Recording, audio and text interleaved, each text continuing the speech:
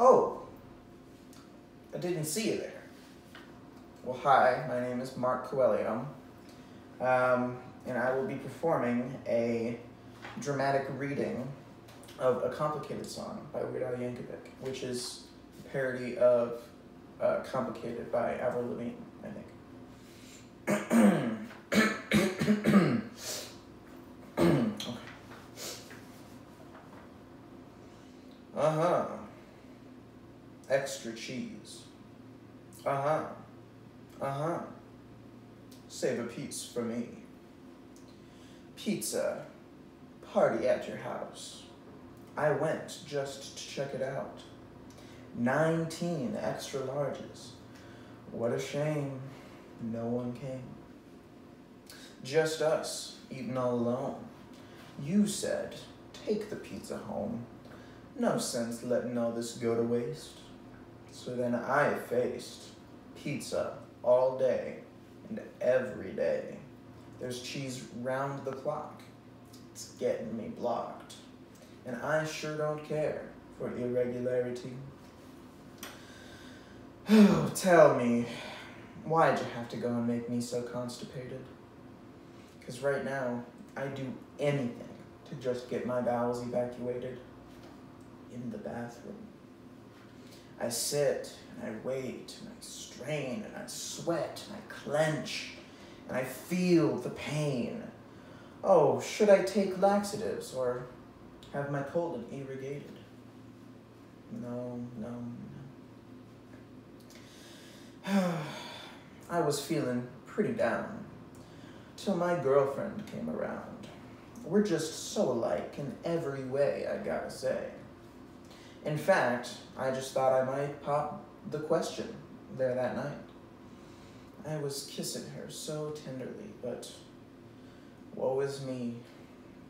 Who would have guessed her family crest I'd suddenly spy tattooed on her thigh?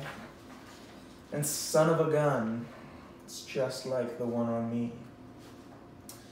Tell me, how was I supposed to know we were both related? Believe me, if I knew she was my cousin, we never would have dated. Oh, what to do now? Should I go ahead and propose and get hitched and have kids with 11 toes? Move to Alabama where that kind of thing is tolerated?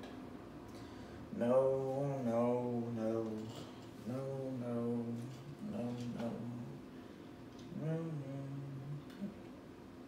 no, no, no.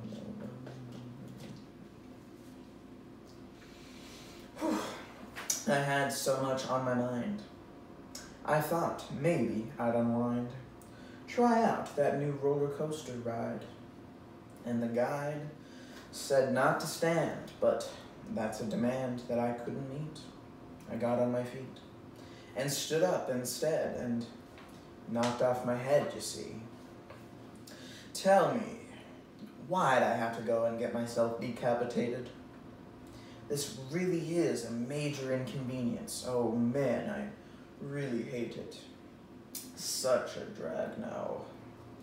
I can't eat, I can't breathe, I can't snore, I can't belch or yodel anymore. I can't spit or blow my nose or even read Sports Illustrated. Oh no, why'd I have to get myself all mutilated? Gotta tell ya, life without a head kinda makes me irritated. What a bummer. I can't blink, I can't cough, I can't sneeze, but my neck is, in, is enjoying a pleasant breeze now. Hmm, haven't been the same since my head and I were separated. No, no, no.